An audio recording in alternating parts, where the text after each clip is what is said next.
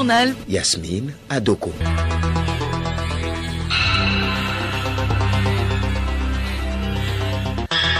Madame, Monsieur, bonjour.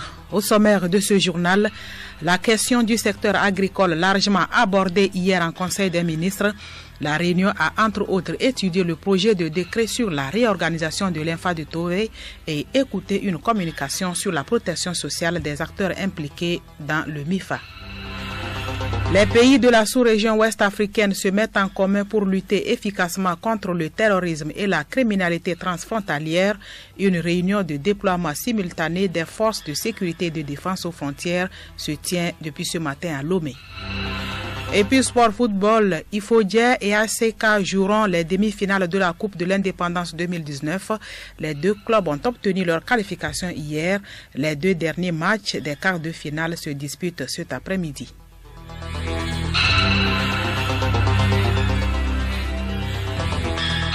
radiolomé.tg Bienvenue à tous. Conseil des ministres, hier, sous la présidence du chef de l'État Forest Sozemna Zingbi, la réunion a été marquée par l'adoption de projets de loi, l'examen de décrets et des communications et nominations. Le point avec le ministre de la Communication, des Sports et de l'Éducation à la citoyenneté et au civisme, Folibazi Katari. Le Conseil des ministres s'est réuni ce mercredi 17 avril 2019 au palais de la présidence de la République sous la présidence de son Excellence M. Fort Essozimna Nyasingbe, président de la République. Au cours des travaux, le Conseil a adopté trois projets de loi étudiés en première lecture, un projet de décret, écouté une communication et abordé des divers. Au titre des projets de loi, le premier projet de loi adopté par le Conseil autorise l'adhésion du Togo à l'annexe 6 de la Convention internationale pour la prévention de la pollution par les navires MARPOL, adoptée le 26 septembre 1997 à Londres. Dans le souci de préserver l'environnement et l'écosystème marin, l'Organisation maritime internationale a adopté le 2 novembre 1973 la Convention internationale pour la prévention de la pollution par les navires, Convention MARPOL.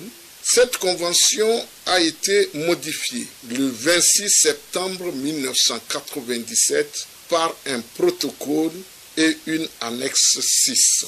Le présent projet de loi autorise l'adhésion à cette annexe qui fixe les limites aux émissions d'oxyde de soufre et d'oxyde d'azote provenant des gaz d'échappement des navires et interdit les émissions délibérées de substances qui appauvrissent la couche d'ozone. Le Togo a ratifié la convention Marpol et adhéré à ses annexes 1, 2 et 5 par la loi numéro 89-001 du 2 mai 1989 portant autorisation de ratification. L'adhésion du Togo à cette annexe 6 lui permettra non seulement de participer à la lutte contre la pollution de l'environnement marin, mais également de délivrer des certificats internationaux de prévention de la pollution de l'air à la grande flotte de navires battant pavillon togolais. Cet instrument juridique international facilite la prise de mesures entrant dans la mise en œuvre de l'action de l'État en mer. Le deuxième projet de loi adopté par le Conseil autorise l'adhésion du Togo à l'accord portant établissement de la société financière dénommée Africa Finance Corporation, adopté le 28 mai 2007 à Lagos. Pour combler l'insuffisance d'investissement dans le secteur des infrastructures de développement en Afrique, des institutions financières et des hommes d'affaires africains ont créé la société financière dénommée African Finance Corporation à travers une charte adoptée le 28 mai 2007 à Lagos.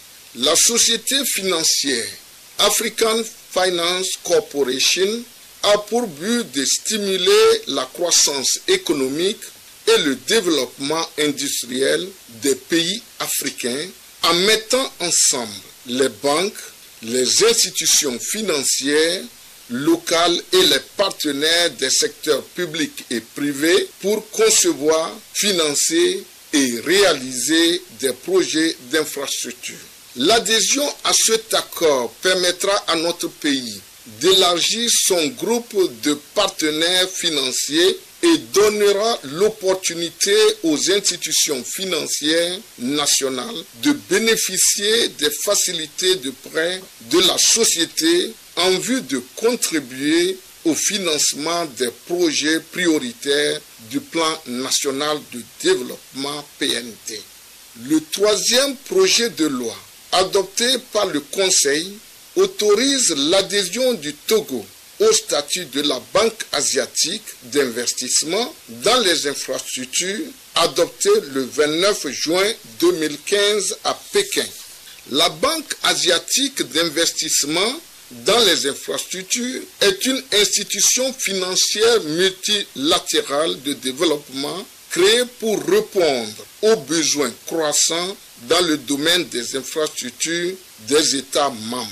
Elle a pour but de mobiliser les ressources complémentaires nécessaires permettant d'éliminer les difficultés financières que connaissent les pays les moins avancés et de compléter l'action des banques multilatérales de développement existantes. L'objectif ultime est de favoriser le développement économique durable, de créer la richesse et d'améliorer la connectivité des infrastructures des États membres en investissant dans ce domaine et d'autres secteurs productifs. Dans le but de diversifier les partenariats en matière de financement du développement, le président de la République a exprimé en septembre 2018, au cours d'une visite au siège de la Banque asiatique pour l'investissement dans les infrastructures, en marge de la FOCAC, sa volonté de voir le Togo devenir membre à part entière de cette institution. La proactivité du Togo sous le leadership du président de la République a permis à notre pays d'être admis en qualité de membre quatre mois après l'acte de candidature.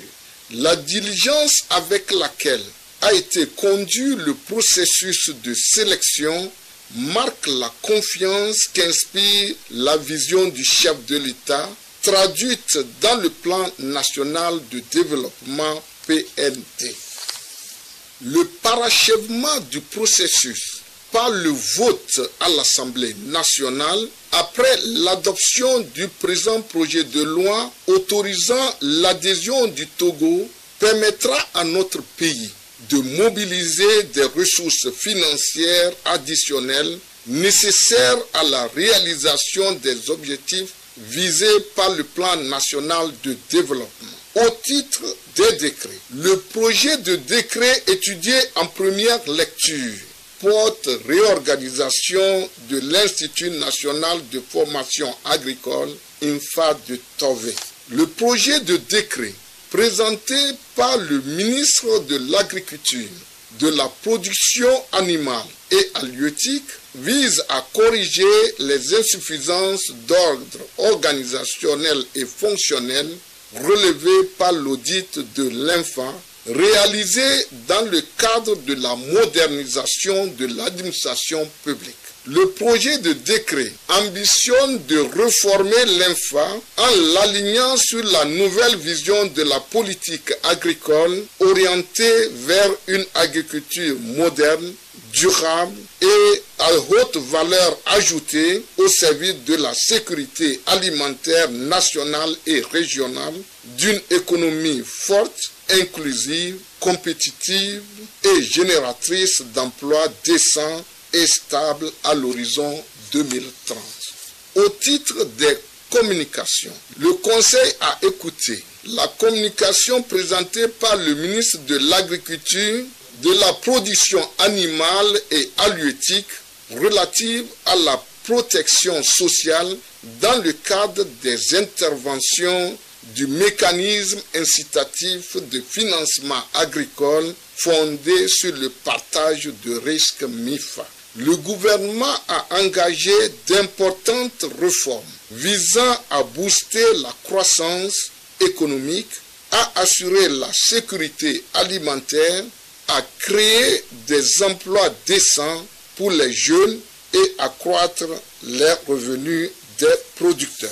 L'une de ces réformes fut la création d'un mécanisme incitatif de financement agricole fondé sur le partage de risques MIFA, dont le pilier 2 a pour objectif de développer des produits assurantiels dans le secteur agricole afin de réduire la vulnérabilité des acteurs face aux chocs exogènes et d'accélérer l'inclusion et la protection sociale. Pour réaliser cet objectif, il est apparu nécessaire de continuer la réflexion sur le mécanisme d'assurance agricole le plus judicieux qui garantisse la protection sociale des actifs dans le cadre des interventions du MIFA. L'assurance agricole devra couvrir toute la chaîne de valeur impliquant plusieurs acteurs, dont les agro-entrepreneurs, les producteurs agricoles organisés en coopérative. Au titre des divers, le président de la République a rappelé au ministre l'obligation de mettre en exécution les recommandations et enseignements de la retraite gouvernementale de Cara tenue les 21 et 22 mars 2019 en vue d'améliorer les résultats des services rendus à nos concitoyens. Par ailleurs, le Conseil a écouté le compte-rendu du ministre de l'Agriculture, de la production animale et halieutique relatif à la 11e édition du Forum national du paysan togolais organisé à Kara du 11 au 13 avril 2019.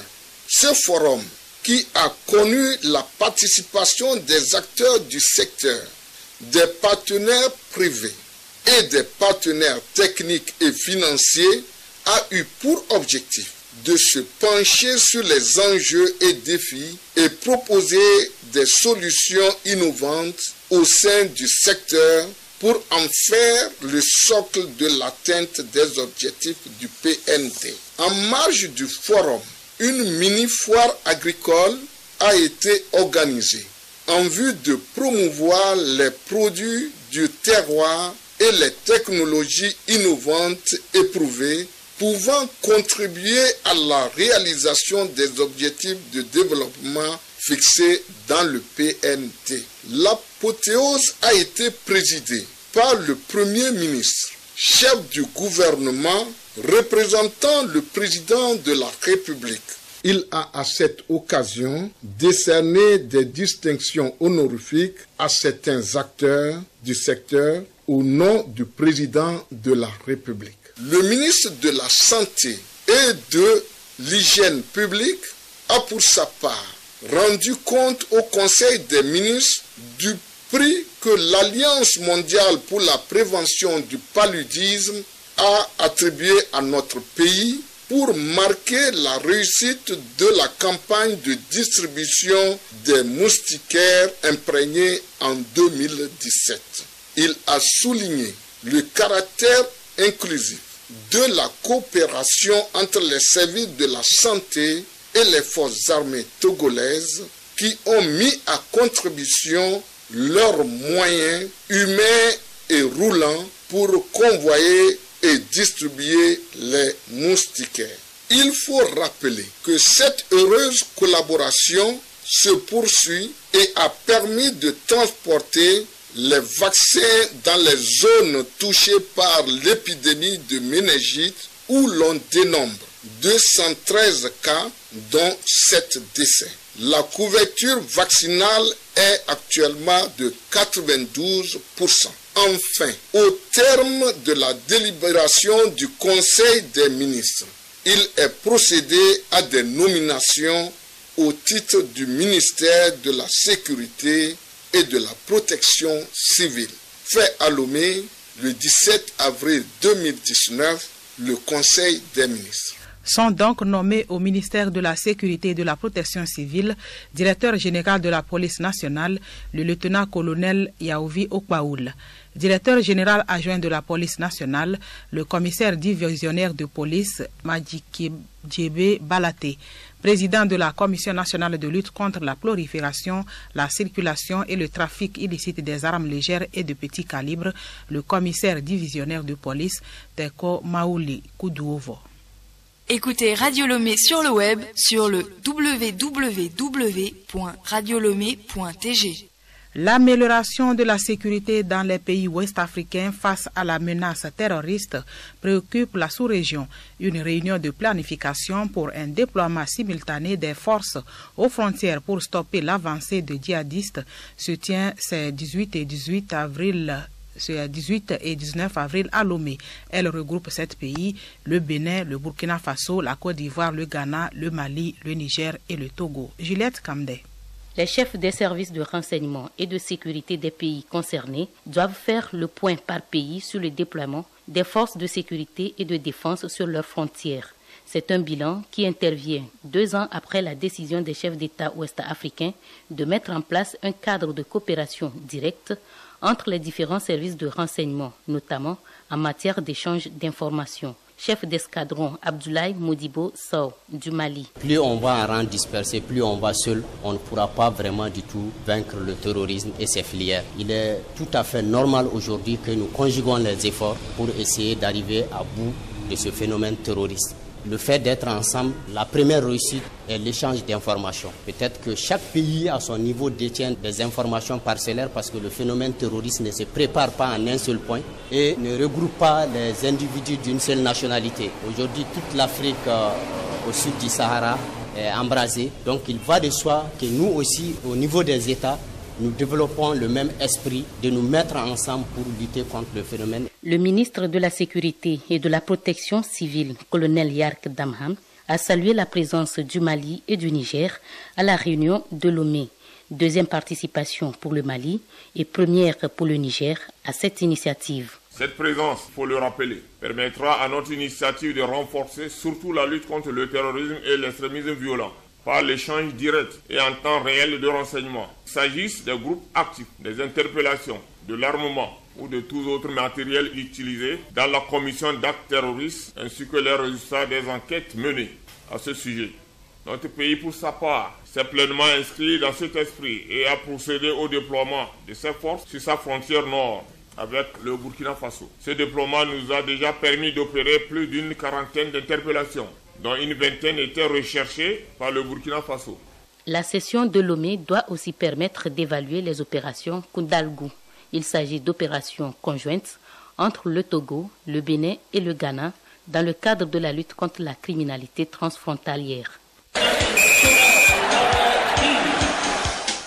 En sport football, les deux derniers demi-finalistes de la Coupe de l'indépendance vont être connus cet après-midi.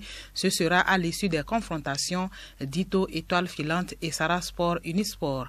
Déjà hier, Ifouya Datapame et ASCK de Kara ont obtenu leur qualification pour les demi-finales en venant à bout respectivement de Maranata et Agua. Et puis la Ligue européenne des champions, les quatre clubs devant disputer les demi-finales de cette prestigieuse coupe sont connus. Il s'agit de Barcelone, Ajax d'Amsterdam, Liverpool et Tottenham.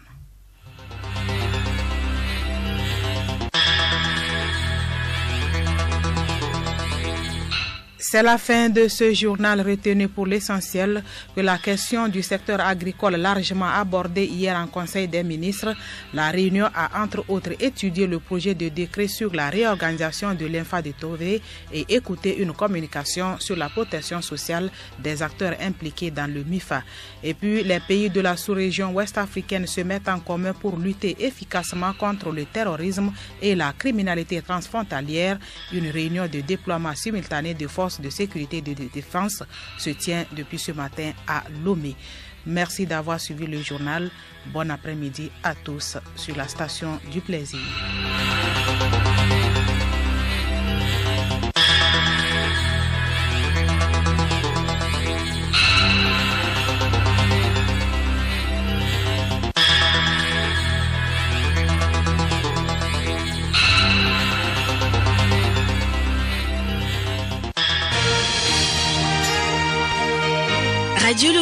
Boîte postale 434, email radiolomé.tg. Radiolomé.tg.